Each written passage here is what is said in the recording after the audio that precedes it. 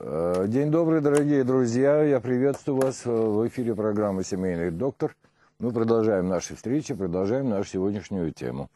Я имею в виду те- тему, которую мы сейчас разбираем – диабет. Ну, как всегда, по заведенному нами распорядку, в начале передачи один э, вопрос, а после этого я начинаю, так сказать, двигать тему дальше. Э, У меня есть к вам одна просьба, друзья мои – Понимаете, я всегда, когда мы начинаем с вами какую-то тему, рассчитываю на то, что а, по теме будут какие-то вопросы, с которыми нам надо разбираться. Иначе как? Потому что ведь, э, э, прошу прощения, но вы э, люди вполне самостоятельные, и, слава богу, сами понимаете, что такое с нами происходит, что, что с нами не происходит. Понимаете? Э, Поэтому я рассчитываю всегда о том, что мы с вами дойдем до какого-то определенного момента в раскрытии темы, а дальше уже можно вести речь о дисках. Я вот к этому веду, потому что вы продолжаете требовать сейчас от СГУ ТВ диски, но на пути дисков стоит вот пнем торчит Алексеев, который говорит, нет, сейчас не готов, мы не можем сейчас делать диски, не можем, потому что надо понять, э, по- какие коррекции внести ту- в программу, может быть, что-то ужесточить, может быть, наоборот, что-то смягчить. Понимаете, я пока этого не понимаю. Диски будут обязательно по диабету. Я имею в виду монология здоровья. Вот этот вот, вот, этот вот цикл э, э, программ, которые на дисках э, в СГУ ТВ. Они называются «Семейный доктор» или «Монология о здоровье». Прямо по нашей передаче. Понимаете, мы с вами уже сделали несколько выпусков. Мы сделали по сосудам, по су- сосудистой системе. Мы сделали с вами по гипертонии эти диски. Мы сделали по опорно-двигательному аппарату. Мы с вами сделали эти диски по псориазу. Э, Я даже не все перечислил, их всего пять. Пять выпусков таких. Но вы должны понять следующее. Это получается такая целая антология а, правильных подходов э, к э, раскрытию наших тем. Э, Да, я знаю, что есть телефонный звонок, через 30 секунд я выйду э, на него. Буквально, понимаете? Поэтому, пожалуйста, э, запомните, через 2-3 недели максимум диск по сахарному диабету будет. А сейчас обращаю ваше внимание вот на, на сегодняшний выпуск. Мы должны с вами сообразить одну очень важную вещь, связанную э, с, с развитием диабетической проблемы у человека. Алло. Алло. Да, алло, добрый Да. день, Анатолий Ефимович. Алло. Я кратко изложу вопрос. Да. Я слушаю. У моего брата бронхоэктатическая болезнь Да. с поражением левого легкого, пневмо- Пневмосклероз. пневмосклероз легких Так, да. и Так. кардиодистрофия. Ему 55 лет. Вашу программу я знаю. Да. Э, Сама по ней занимаюсь, у меня есть диски. Мгм. У меня такие вопросы. Можно ли ему проводить горячее обертывание? Экстренное очищение и скипидарные ванны. Я понимаю. Значит, э, что касается скипидарных ванн, проблем нет. А скажите, пожалуйста, еще раз. Кардиодистрофия, да?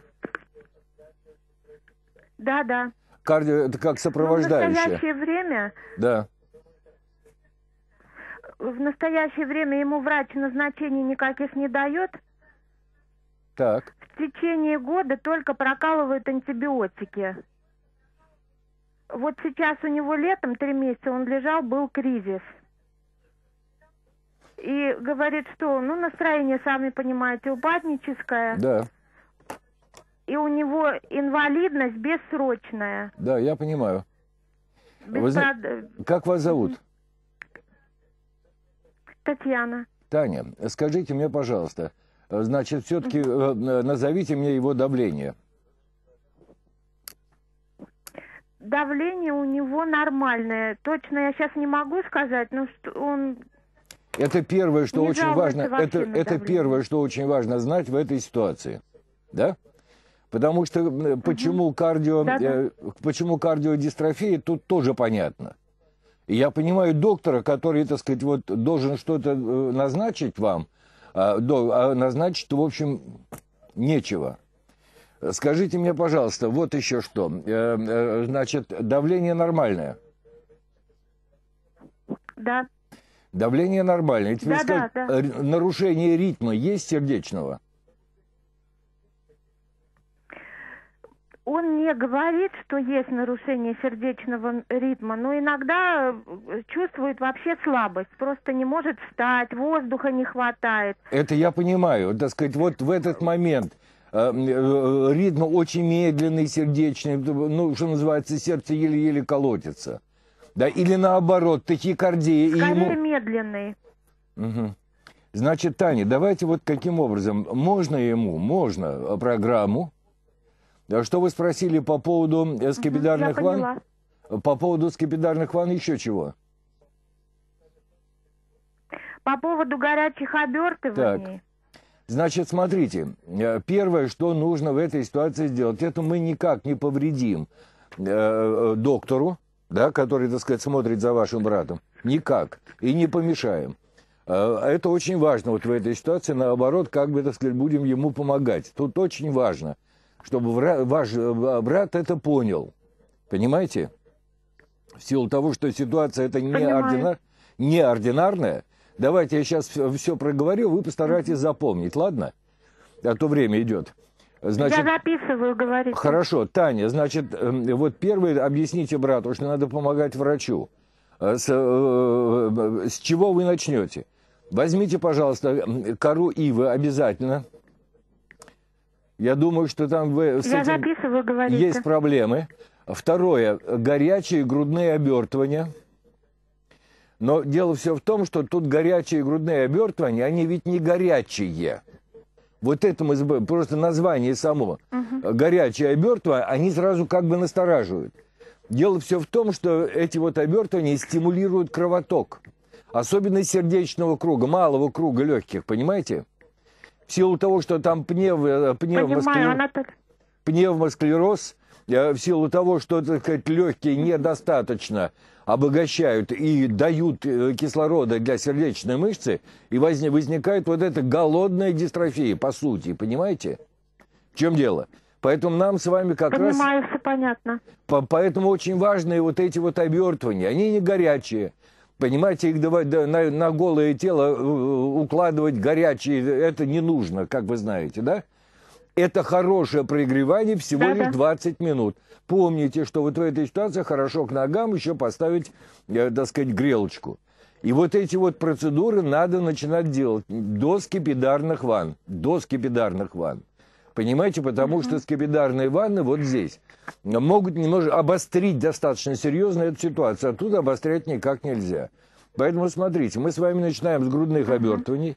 Не надо проводить экстренное очищение, потому что оно здесь вряд ли годится. Ну, я, так сказать, предполагаю себе состояние, ваше физическое состояние вашего брата.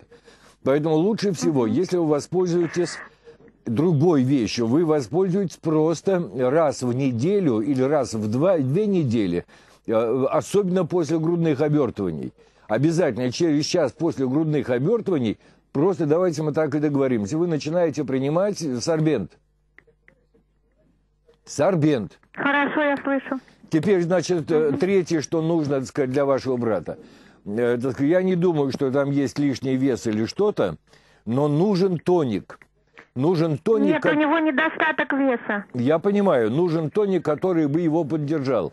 Вот в этой ситуации я бы вашему брату советовал э, э, пыльцу, пергу. Да, пчелиную пергу, потому что это очень хорошая э, э, по- поддержка организма. Это Я тон- ней знакома. а? Очень хорошо. Если вы знакомы, значит, я не буду вам Да-да. говорить, все вы понимаете. И, значит, и последнее, ванны, э, но ванны с вот с чем. Э, Это должны быть э, морские ванны, комфортные, без этих вот температурных движений, да, с морской солью. В ванну надо класть полтора килограмма соли. Полтора килограмма. И обязательно 15-20 капель экстракта скипидарного.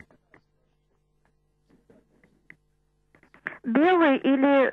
Не, не, нет, это, это, не, не, нет, нет, нет.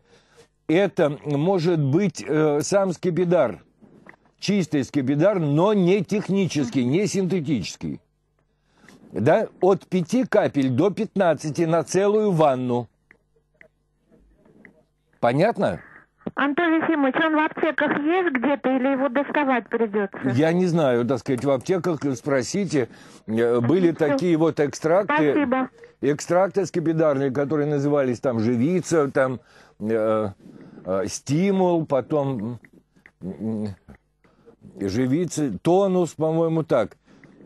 Э, так сказать, вот э, были такие экстракты скипидарные, понимаете, может быть их использовать, но можно и чистый скипидар, но ни в коем случае не синтетический. Это должен быть живичный скипидар. Начиная от 5 капель, проб и ошибок. На первую, первую ванну 5 капель, э, не будет такой активной реакции. Значит, э, увеличить до 10 капель, э, опять реакции не будет, увеличить до 13-15 капель. Думаю, что тут реакция появится.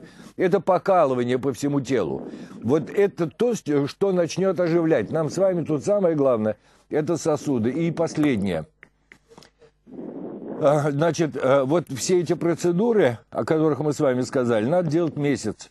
А вот через месяц надо начинать, можно начинать будет с скипидарной ванны. Но, Татьяна, я думаю, что к тому времени вы позвоните. Анатолий Ефимович, Да. последний вопрос. Да.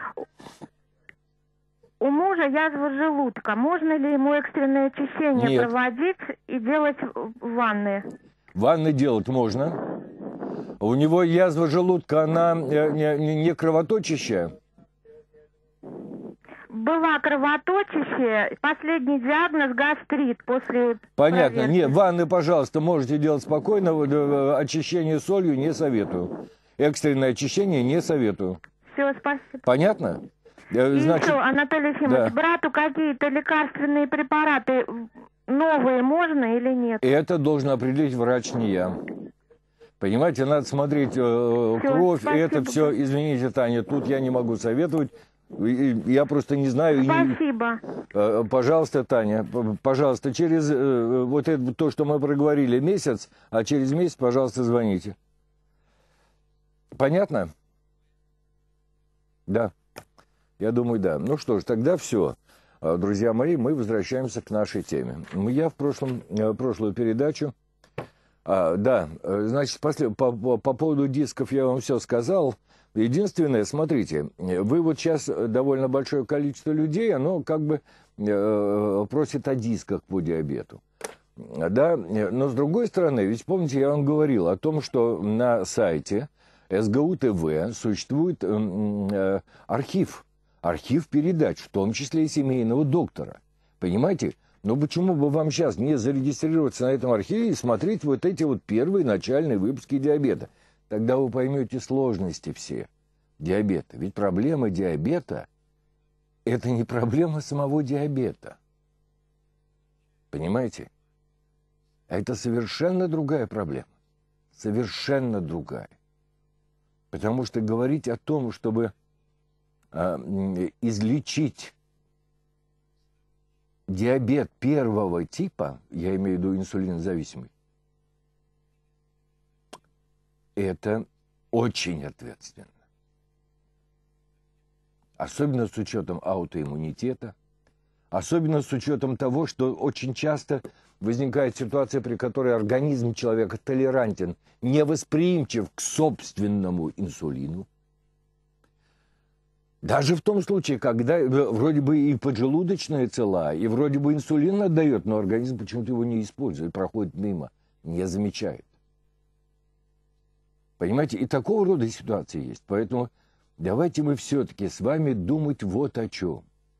Чтобы не дать диабету нас с вами разрушить, привести к ишемии, к инфаркту, не дать привести к ишемии, к инфаркту, не дать привести к э, трофическим изменениям, соответственно, к потере э, э, ног, да, не довести себя до диабетической стопы и ангиопатии э, в результате облитерирующий эндотериит диабетический э, в ногах и, и требуется э, ампутация, вот к этому не, не привести себя. Можно это сделать? Можно. Теперь смотрите, не довести себя до хронической почечной недостаточности, до гломерулонефрита, то есть проблем-то целая куча, с которыми мы должны с вами справляться в силу того, что усилия врача, э, усилия эндокринолога направлены на поддержание ситуации, связанной с углеводным обменом, с утилизацией сахара, с тем, чтобы сахар в крови э, да, был как можно, так сказать, в тех пределах нормы. Все это так. Но вот все то, о чем я сейчас сказал, то есть э, сосудистые изменения, изменения в состоянии сердца, изменения в состоянии легких, изменения в венозной системе, изменения в наших почках, изменения в печени. Они, к сожалению, практически как бы не останавливаются. А мы должны привести их в порядок. Это колоссальный опыт э, э, Бориса Степановича Жерлыгина. Есть такой спортивный доктор, э, спортивный доктор, который работал и работает с диабетиками. Вот у него этот опыт прекрасный. И даже тогда, когда человек остается на инсулине, на более-менее стабильном количестве инсулина, да, его состояние физическое очень хорошее. У него хорошее сердце – у него хорошие, так сказать, сосуды, у него нормально работают почки, у него все в порядке с э, корой головного мозга, а у него нет проблем с печенью, все как надо. Но это заслуга самого человека. Теперь посмотрите, в чем сложность того, чем мы с вами сейчас занимаемся. Вот диабет, сахарный диабет – можно назвать э, таким квинтэссенцией, что ли, концентратором многих проблем человеческих, которые оказываются соединены в единую, как, как бы, вот в единый конгломерат, в единый процесс. Смотрите, есть отдельно проблемы, связанные с ишемической болезнью сердца. А есть проблемы сердечные, которые тоже называются – ишемической болезни сердца, но на фоне диабета. И есть воспалительные процессы, связанные с состоянием почек, хроническая почечная недостаточность. Так сказать, та же самая, тот же гломерул и нефрит. Понимаете?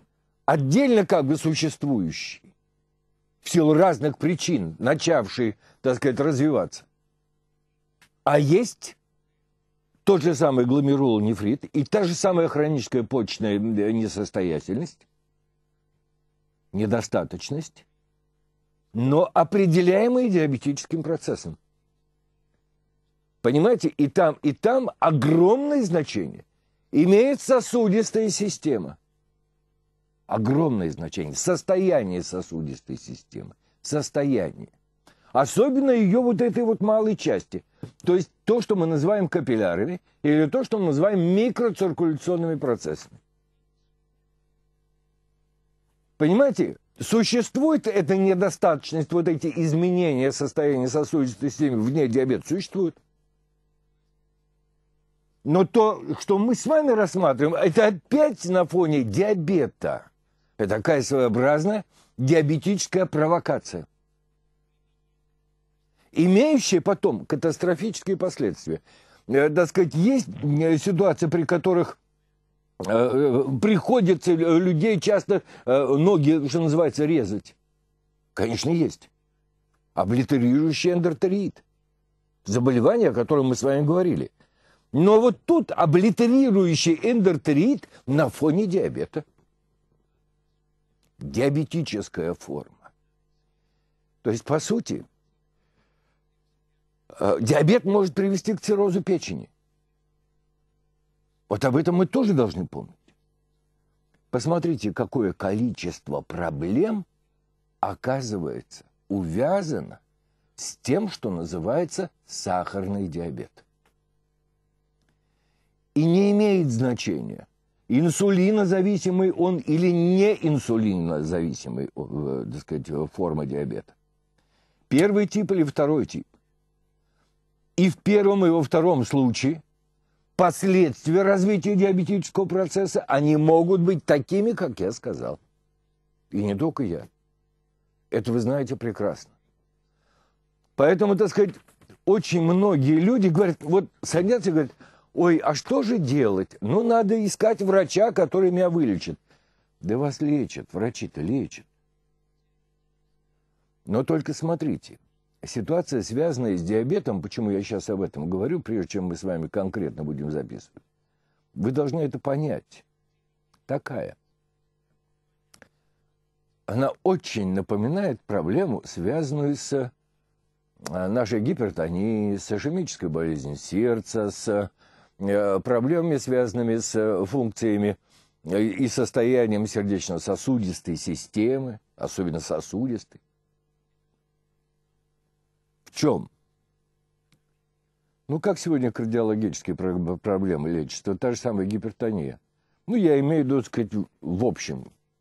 Вы приходите к доктору, доктор говорит, да, дорогой мой, у тебя, так сказать, гипертония, цифры вон они какие уже, давление давайте, давай-ка мы будем лечить, вот тебе так, один препарат, вот тебе для разжижения крови другой препарат, вот тебе для улучшения микроциркуляции еще один препарат и так далее. Назначает вам 2-3 препарата и при этом, как правило, говорит одну фразу. А, теперь будете, вот для себя найдите форму, чтобы по часам принимать препарат, потому что это будет ваша работа на всю оставшуюся жизнь.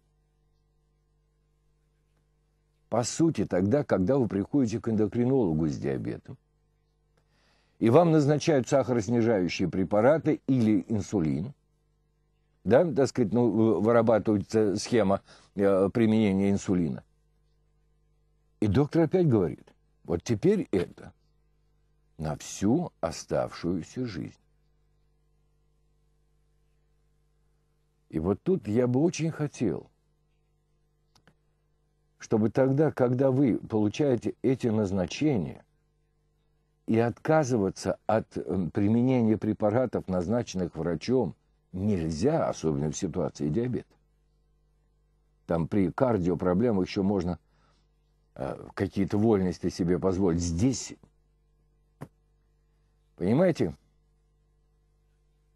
я очень прошу – чтобы вы заглянули в спецификацию, в листовочку, которая сопровождает каждый препарат. И посмотрели на те побочные действия, которые описаны в этой листовочке. Это обязательно должен делать э, любой производитель лекарств. И вы увидите, какое количество побочных действий эти лекарства будут вызывать и на что они будут внутри вас отрицательно действовать. Чем мне, я понимаю, что мне возразит достаточно большое количество врачей. Ну, препараты ведь исследованы.